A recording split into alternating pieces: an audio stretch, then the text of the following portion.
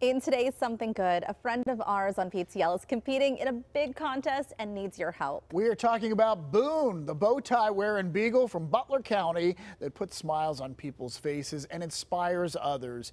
Boone lost his back two legs to abuse, but gets around with a wheelchair. He's an ambassador for the program Joey's Paw, which raises money to help other dogs and cats get wheelchairs as well. And maybe even saw him or could see him at Pittsburgh International because he goes there occasionally and greets passengers. Oh, look at his tail wagging. well, he's in America's favorite pet contest. Voting started yesterday, and there are six rounds of voting. It's free to vote. We have the link on the Pittsburgh Today Live Facebook page, and we'll let you know how he does in the contest when it wraps up. You know, I had a chance to MC an event with Boone and Joey's Paw right before Christmas. Yeah. They do so much good to help so many animals, not only just in our area, but all over. Really a great, great program. And Boone is always smiling. He is.